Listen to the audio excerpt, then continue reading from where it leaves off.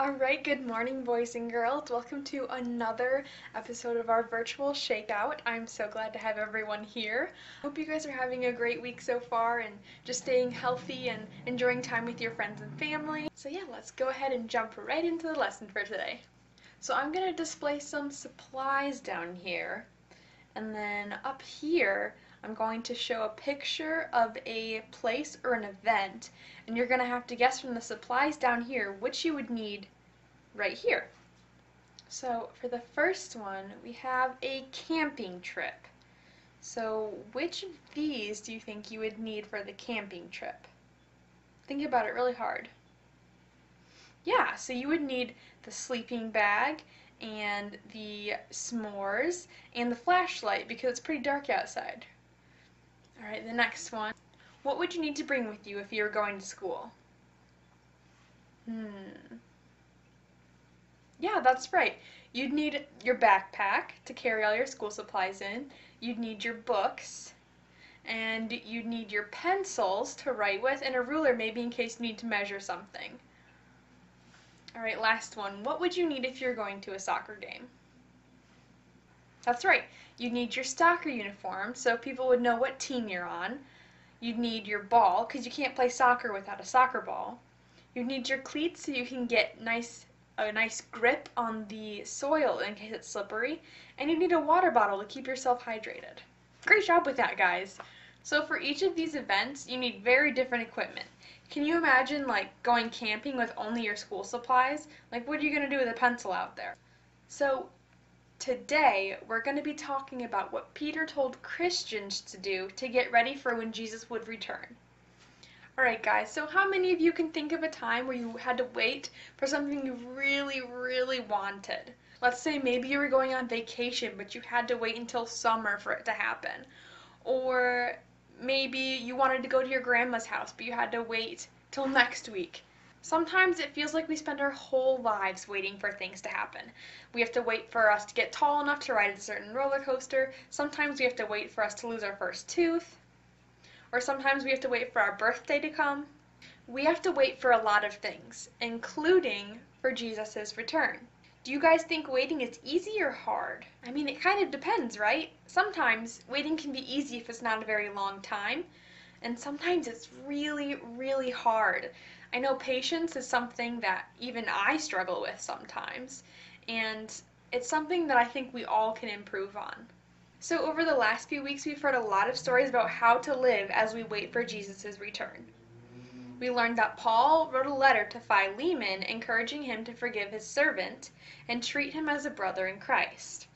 We also read about Paul's letter to the believers in Thessalonica, encouraging them to stand strong in their faith even when they face trials. And last week we heard about Jude, who told the believers to um, stand strong in the truth even when they might face false teachers or people who are trying to tell them something different. And this week we are going to read from one of Peter's letters and hear more about what it means to wait for Jesus. All right, so we are going to jump right into the Bible story. Um, it is from 2 Peter chapter 3, verse 1 through 13. You guys can follow along in your Bibles or kind of listen and hear what I'm saying. So, Here's how it goes. It had been about thirty years since Jesus returned to heaven, and Peter, one of the original twelve disciples and also one of Jesus' closest friends, was now much older. He was a leader in the Christian church, and he was now a prisoner in Rome when he wrote a letter to other believers. Peter warned the believers against false teachers who tempted them to sin. He did not want these false teachers to lead the believers away from Jesus.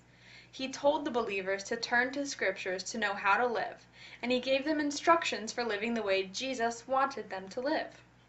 Peter also wrote about the day that Jesus will return. Some of the false teachers said that Jesus will never come back. But Peter had been with Jesus when he promised that he would come back. So, Peter told the believers to be ready.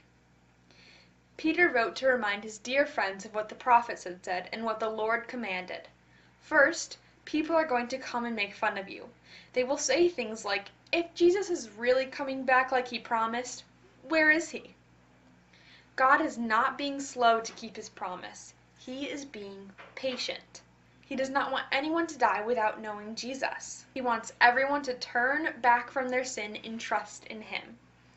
Peter wrote, The day of the Lord will come when we do not expect it, like a thief in the night. God will judge the world. Until then, you should live a holy life by the Holy Spirit's power. Live in a way that pleases God. Jesus will come again and make the new heavens and a new earth. At this time, the Roman emperor persecuted Christians. He punished them and even killed them. Not long after Peter wrote this letter, he was killed because he followed Jesus. So we're going to go over a little bit of a recap. I'm going to ask some questions to get that brain jog in here. So, first question is Who wrote the letter from today's Bible story? The answer is Peter. Peter wrote the letter that we were listening to today. So, how many years had it been since Jesus returned to heaven when Peter wrote this letter? It was 30 years. So, we talked about how Peter had grown much older when he was writing this letter, right? Where did Peter tell believers to find the truth in who Jesus is? He told them to look in God's Word, um, the words of prophets and apostles, and the Bible, right? True or false? Peter told believers that Jesus wouldn't be back for a long time, so they could live however they wanted. That is false, right? Peter wrote that Jesus will return soon, so we should obey God and tell others about him. What happened after the time Peter finished writing this letter? So, the Roman emperor persecuted Christians and actually killed some people for believing what they believed. Peter was also killed because of this. So Peter encouraged the church to continue to live godly lives. He knew Jesus and knew that when Jesus made a promise, it was certain to happen. Jesus had promised to return, and he will keep that promise. We might feel impatient at having to wait so long for Jesus to keep his promise. Why is God taking so long? Why can't he just come back right now? So God loves every person on this earth and doesn't want anyone to be apart from him. God's timing is perfect and Jesus will return exactly when he is supposed to.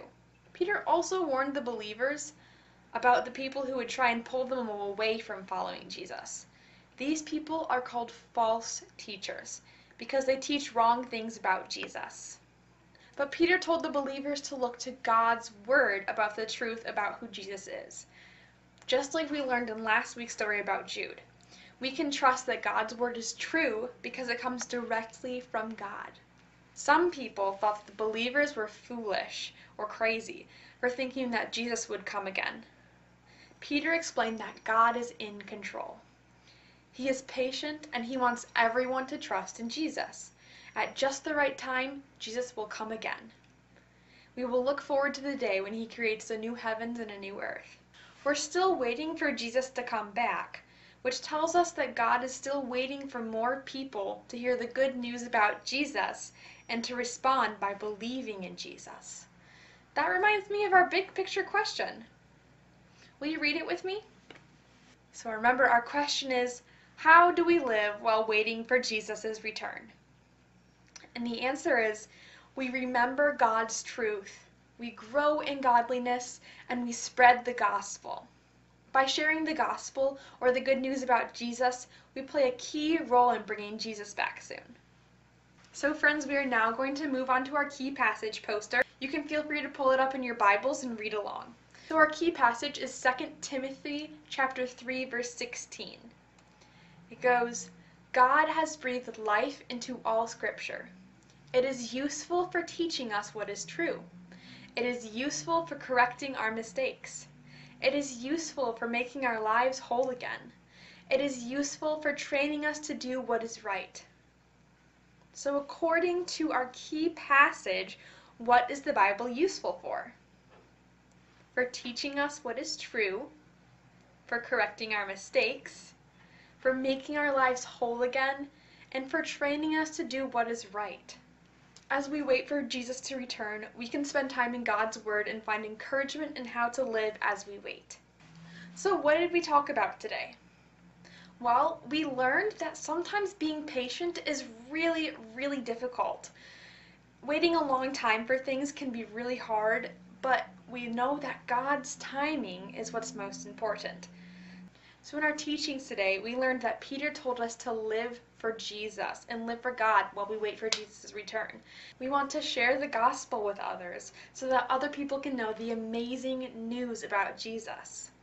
So, we also learned that God isn't going to bring Jesus right now because he wants more people to come to faith.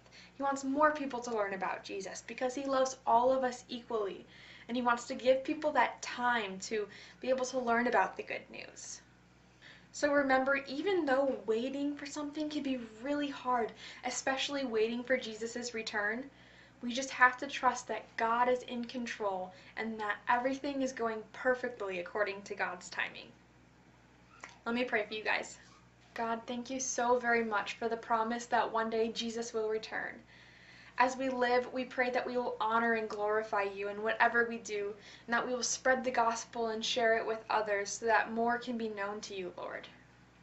I pray that all of our friends at home are feeling safe and healthy through this kind of scary time, and I pray that you'll give us patience for Jesus' return. I thank you for everyone being here today, and I thank you for the freedom we have to express our religion in this country, Lord. In your name we pray. Amen. All right, thank you so much, guys, for joining another virtual shakeout. I look forward to seeing you guys next week.